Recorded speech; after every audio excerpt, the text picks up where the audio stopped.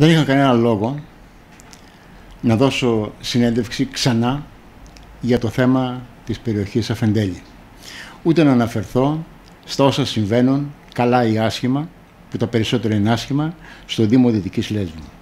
Αναγκάστηκα να έρθω γιατί δεν μπορώ να ανεχθώ τις ενέργειες υπονόμου, δεν μπορώ να ανεχθώ τους ψιθύρους, τις μικρότητες, τα ψεύδη από έναν άνθρωπο ο οποίος ηγείται δυστυχώς μιας δημοτικής παράταξης.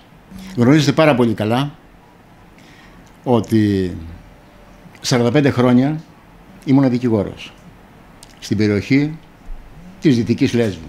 Για την περιοχή αυτή έγιναν δικαστήρια τα οποία ξεκίνησαν από το 1965 για την ανάκτηση της περιοχής. Τα δικαστήρια αυτά τα είχαν άλλοι. Είναι γνωστό το ιστορικό, απλώς λέω δύο κουβέντες για να μπορέσουμε να καταλάβει ο κόσμος τι λέμε. Όταν επανήλθε η περιοχή Αφεντέλη στο Δήμο Ερεσού που τον είχε μεταβιβάσει στο σύνολό του τα 240 στρέμματα, ο Δήμος με απόφαση του Δημοτικού Συμβουλίου έδωσε 32 στρέμματα στους δύο δικηγόρους που είχε αναθέσει για να ανακτήσει και πάλι την περιουσία την οποία είχε πουλήσει. Η υπόθεση πήγε καλά, πήρε πίσω όλη την έκταση και ως αμοιβή των δικηγόρων έδωσε 16 και 16 32 στρέμματα. Οι δικηγόροι έκαναν έτοιμα και οι δύο δικηγόροι, ο Ευάγγελος Κούκος, ο οποίος ήταν ερεσιώτης και ο Παπαδημητρίου, ο οποίος ήταν από την Αθήνα, έκαναν έτοιμα και αγωγή στο δημόσιο για να καθορίσει, για να ορίσει αν υπάρχει παλαιός ή αγιαλός ή όχι.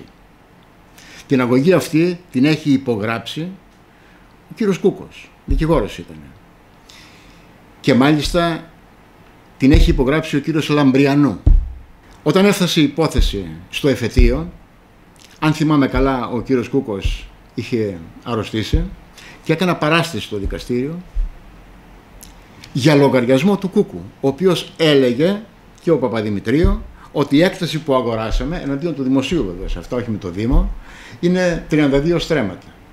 Ήρθε λοιπόν ο Άριος Πάγος, δεν καθόρισε καμία γραμμή Αιγιαλού και παραλίας όπως ψευδός, και το τονίζω, αναφέρει ο Δήμαρχος του Δημοτικό Συμβούλιο, καθόρισε ότι η έκταση η οποία μπορούσε να πουληθεί ήταν μόνο των 11 στρεμάτων, διότι οι υπόλοιποι ήταν παλαιός Αιγιαλός.